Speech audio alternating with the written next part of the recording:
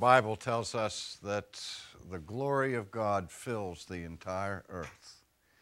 And I don't know how many times I've read that in the scripture, but every time I read about the glory of God filling the earth, I, I scratch my head a little bit and I say, when I look outside, I don't see a whole lot of the glory of God. I see traffic jams, I see bright lights, I see people hustling to and fro, caught up in all of the activities of their daily lives, just like the busyness that you have to deal with every day when you go to school. I don't think that every time you walk in the classroom, you're overwhelmed by a sense of the glory of God, are you? I'm sure not with my daily experiences. In fact, in my whole life, I can count probably on one hand, maybe two, the number of times that I've had an intense, heavy, profound sense of the presence of God. Now, I don't mean to suggest that any experience of the presence of God is that rare in my life. Every time I pray, every time I'm in church, just about, I have some sense of the nearness of God. But I'm talking about those special moments, those weighty moments when you feel the almost palpable sense of, of the presence of God, so overwhelming, so overbearing that you can't ignore it. And you become intensely aware of His glory.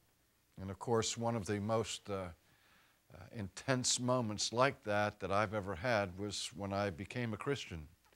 The night I first met Christ, where I was alone in my college dormitory room and on my knees in front of my, my bed. And of course, that moment, more than any other moment in my entire lifetime, uh, changed the direction of my life from then and thereafter.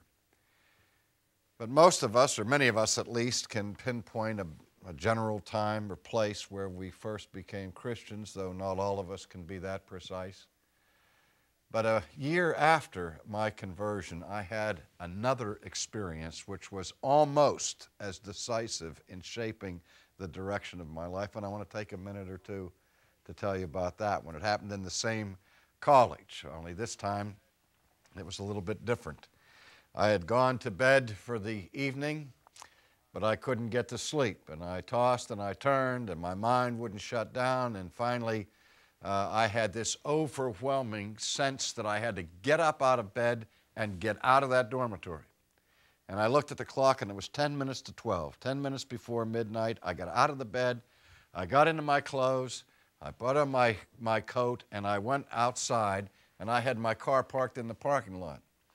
But I didn't get in the car. Instead, I just wanted to walk. It was a winter night up north. There was snow on the ground. A full moon was in the sky. And it was one of those eerie, quiet, still nights that I just had to walk. And I wasn't exactly sure where I was headed, but I wanted to be by myself. I wanted to think. I wanted to reflect on some things that had happened to me earlier that day. And so I started toward town and toward the extreme north end of the college campus where I went to school. And while I was walking along that sidewalk that night by myself, and it was unearthly quiet, it was so quiet that the, the main tower of the college had a, a bell tower and it rang chimes every hour on the hour. And just before the chimes would go off, the gears in the bell tower would start to shift and move and get ready to move these huge bells that would uh, chime. And it was so quiet that night that even though I was still quite a distance from the uh, tower, I could hear the gears chiming in the tower. And then all of a sudden, the tower started to, to clang 12. And while it was gonging, I walked around the front of the, of the tower to the entrance of the college chapel, which had been built in the 19th century, and it was built out of stone. And the doors of the chapel were these very heavy oak uh, arched doors. And I didn't know whether the chapel would be open or closed, locked up for the night, but I just pushed on the door and it opened. And I walked into the narthex of this, uh, of this chapel. And when the door closed, you could just hear it clang against the, the wall and the floor was stone. And I walked then into the sanctuary. Now, I was in that uh, chapel every day. We would have chapel, required chapel every morning, 1,500 students would come into this big building with the stained glass windows and the vaulted ceilings and so on for our chapel. And it was all busy and noisy, and the students uh, walking back and forth, whispering to each other, and so on. But this time, when I walked in the chapel, I was the only person there. And I walked down the center aisle of the sanctuary to the chancel stairs, and I got on my face, literally, in front of the communion table, and was overwhelmed by the presence of God. And my experience that night was not the same as my experience of my conversion to Christ. But what happened to me that night that I'll never get over was that I had this overwhelming experience of the presence of God the Father. And we know that God is one in three, one being, three persons. But most of our attention in the Christian world focuses on Jesus, on the incarnation of God. And we sometimes forget that the purpose why Jesus came here was to reveal to us and restore for us our relationship with the Father. Well, what drove me to the chapel that night was something that happened in the classroom during the day. I, as I said, I was a sophomore in college. I was, had been a Christian for one year, and uh, I had decided to be a Bible major because I wanted to give my life to Christian ministry, so I signed up to be a Bible major. In my sophomore year, I had to take a required course in Introduction to Philosophy. And I thought that philosophy was the driest, most boring subject that I'd ever heard of. In fact, I used to sit in the back of the, of the lecture hall and I, I hid Billy Graham sermons underneath my notebook so that when the professor would start the lecture on this dry as dust stuff about philosophy, I entertained myself or enriched myself by reading these sermons from Billy Graham. And I did that every day and just ignored what was going on. And then this one particular day, the beginning of winter, the professor was lecturing on a Christian philosopher whose name was Augustine. And he was speaking about Augustine's view of how the universe had been created initially. And virtually against my will, as I'm trying to read this sermon and the, and the lectures going on, my attention was drawn to what was being said in the front of the room. And so I put the notebook aside and I started to listen. And the professor started talking about what he described as Augustine's view of the divine imperative. Now, you know what an imperative is it's a command, it's an obligation, a requirement. And Augustine, when he was thinking about how all of this universe came into being in the first place and reflecting on the first chapter of Genesis, where we read in the beginning, God created the heavens and the earth. Augustine said the only description that Scripture gives as to the how of creation is that it speaks about the power of God's Word. In the beginning, when the, was, when the world was without form and void and darkness was on the face of the deep, the scriptures say that what changed all of that was a command from the mouth of God, where God said, Let there be. And instantly there was. The lights came on, the darkness receded, the planet, the world, the universe began to teem with all sorts of energy and power and life, all by the sheer power of a command from God. And I sat there in that classroom and I started to think about that. And I said, what kind of being is so powerful, is so transcendent, is so much greater than anything that I could ever conceive of that I've ever experienced in this world? Can bring universes into being by speaking a single word. And I remembered reading about Jesus in the New Testament where by the sound of his voice he could calm the sea and stop a storm or raise a man from the tomb by calling him out of the grave, saying, Lazarus, come forth.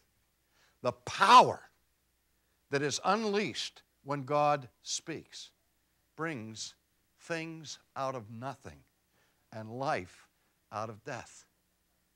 And I said, that's, that's the character of God the Father.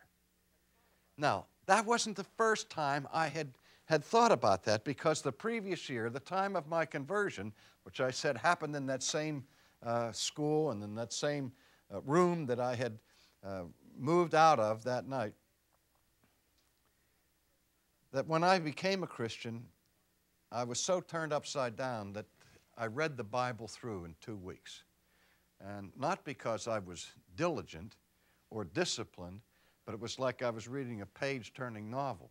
I had never read it before, I'd never been exposed to it before. I was converted from paganism, and I picked up the first page of the Bible and I read the first page, read the second page. I, I just kept going, second, third page, read Genesis, Exodus, Leviticus, Numbers, the whole way through.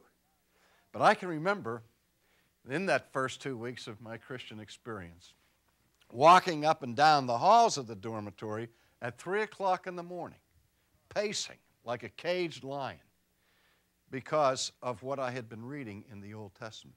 Because even though I grew up in the United States of America and had frequent churches for social reasons and all the rest, I had never heard of this God that I was reading about in the Old Testament. You read the Old Testament much? Have you encountered the God of Israel? You know, the God who opens up the earth and swallows those who rebel against Moses? The God who sends a flood to inundate the whole world of, of rebellious people? The God who has the mountain at Sinai shaking with thunder and lightning and saying, Don't you come near this. If you touch this mountain, you will die? I never heard about that God in the churches that I had frequented as a youngster. And so this was my virgin exposure to the God of Israel these first two weeks, and I was getting it all at once. And so I would pace up and down like the cage lion. I said, wow, if I'm going to be a Christian, I got to take this seriously because this God plays for keeps. Now, I didn't understand the concept that I was wrestling with at that time. But really, what was blowing me away in my initial reading of the Old Testament, in listening to this lecture about Augustine's view of creation, was the holiness of God. It wasn't the love of God or the mercy of God, all of which are wonderful things dealing with his sweetness and his excellency, but it was his transcendent majesty that was coming across. And I was saying, wait a minute, I don't know what this is about. I don't understand it. I've never encountered it. But this is who God is. And I want to know more about a God who is that majestic, who is that transcendent.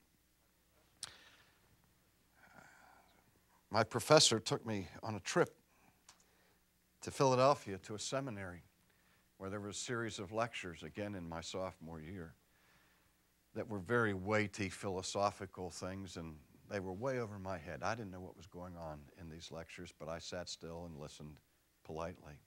And then after the morning series of lectures, we broke uh, to, the, uh, to, to the cafeteria for lunch. And I happened to be seated across the table from the head of the philosophy department of this particular institution. And the first course of our lunch was soup. We all got our little bowls of soup, and I had my little bowl of soup in front of me. And this professor sitting across from me looked up and he said to me, Young man, would you say that God is transcendent or immanent. I literally spit the soup out of my mouth because I didn't know what the word transcendent meant, and I didn't know what the word immanent meant either. But what he was asking me was he was asking me, is God transcendent in the sense that he is high above and beyond the normal sphere of human things that we encounter? Or is God nearby, close at hand. something that we can get our arms around, being immanent. And he explained the difference between those two things to me and then pointed out to me that the biblical God is both transcendent and immanent. He is all, at the one hand above and beyond everything creaturely, and yet in his exalted position, he still visits his people. He makes himself present in terms of his Holy Spirit, in terms of Christ coming to pitch his tent among us, and in terms of intruding into our lives right here. And I thought about uh, a passage in the Old Testament that I want to take a couple moments to direct your attention to that took place in the book of Genesis in the life of Jacob. Jacob had left his family and was leaving on this journey to pursue a wife, and he was traveling in the middle of the desert. And we are told that at the end of the day, when darkness fell, that's where he decided to camp. They didn't have holiday inns on every corner, that you would travel as far as you could until nightfall, and after it became dark, it was too dangerous to travel after that because of marauders and robbers and, and wild animals or so on. So wherever you were in the desert, just lie down and go to bed. So that's what Jacob did. He took a rock and he used that as a pillow and went to sleep there in the middle of the desert. And then the scriptures tell us that this deep sleep came upon him and in his sleep, God gave him this vision of a ladder that stretched from the earth up to the heaven. And he saw angels ascending and descending on this ladder. Remember that story of Jacob's ladder? Jesus makes reference to it in the New Testament when Nathanael meets Jesus for the first time. And uh, Jesus sees Nathanael coming and he looks at him and he says, Behold, an Israelite in whom there is no deceit no guile. And Nathanael said, Wait a minute, how do you know anything about me? I've never met you before. And it's like Jesus said, if that really shocks you, you haven't seen anything yet. The day will come when you're going to see the angels of God ascending and descending on the Son of Man. And stop for a second. Think about that. What Jesus says to Nathaniel, he said, he's saying, hey, Nathaniel, you read that story in the Old Testament about Jacob, where Jacob had this ladder that bridged the gap between heaven and earth, between the transcendent realm, the holy place of God, and this place here of dirt and of dust. That we don't seem to be able to make a connection between heaven and earth. He said, I am that ladder. I am the bridge between heaven and earth. This is what Jesus was saying. Well, in the meantime, back there on the desert floor, there's Jacob trying to figure this out, and he has this vision in the night. And in the vision, we read this And behold, the Lord stood above this ladder. And he said, I'm the Lord God of Abraham, your father, and the God of Isaac. The land on which you lie I will give to you and to your descendants. And also your descendants shall be as the dust of the earth and you shall spread abroad to the west, to the east, to the north, to the south. And in you and in your seed, all the families of the earth shall be blessed. Now, listen to this, what he says. God says to Jacob, Behold, I am with you, and I will keep you wherever you go. I will bring you back to this land, and I will not leave you until I have done what I have spoken to you. I don't know about you, but there's lots of times in my life when I do not feel like God is with me. Just don't doesn't feel that way. Feels like he's far away. Sometimes I think he's abandoned me or that there's something wrong with me. I remember one time preaching in a church where the minister was uh, in the hospital across the street from the church. He had been the pastor of this church for 30 years, and now he was on his deathbed across the street, you know, fighting for his life. And the elders had called me and asked me if I would come to that church and fill the pulpit for this pastor. And he, they also said that this particular Sunday they were celebrating Holy Communion. And would I administer the sacrament and preach? And I said, Yes. All week long, I worked on my sermon because I realized that the people in the church were in a state of crisis. Their leader had fallen, their leader was about to die. The person that they looked to for their spiritual guidance was sick unto death. And I wanted desperately to minister to them, to give them an unforgettable sermon, and to make the sacrament as meaningful as I could possibly make it. And so Sunday morning came, and the people gathered there. And I gave my sermon.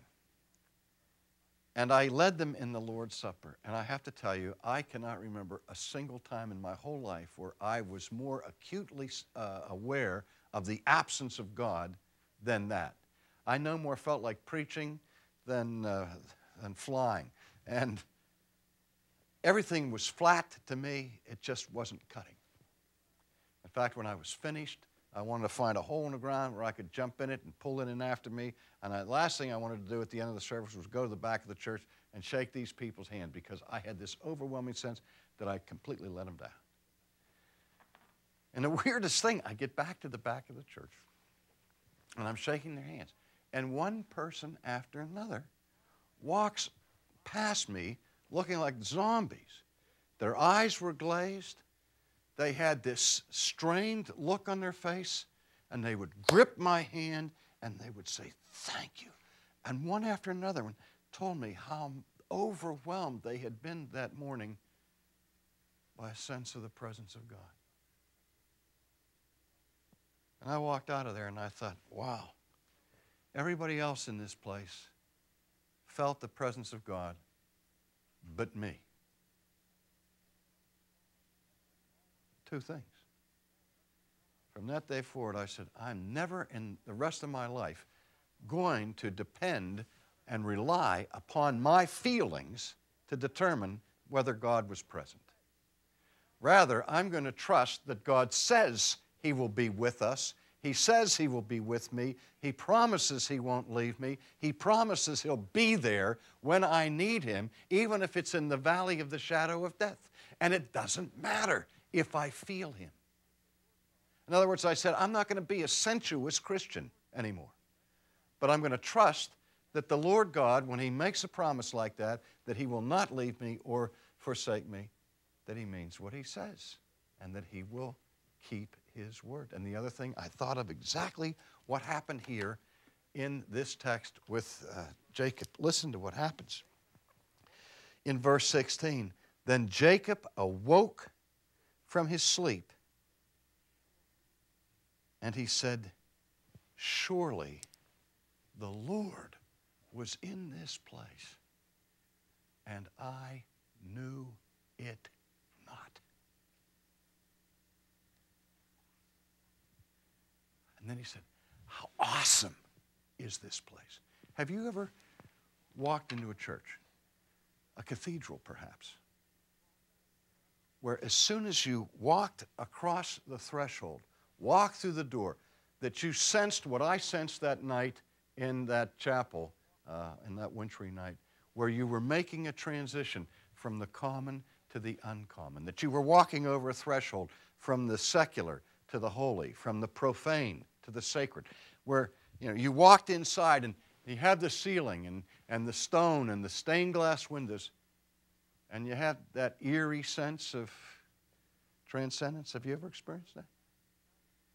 Where nobody has to tell you to adopt an attitude of reverence.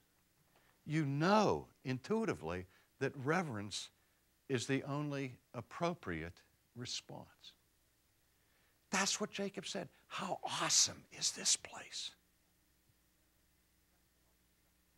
And he named it Bethel, Bethel, the house of God, the place where he met a holy God. And he said, I was afraid. That's one of the things we're going to look at in our series here. What it is about the majesty of God that provokes terror and fear. And why it is that in our day we seem to have lost our capacity to tremble before God.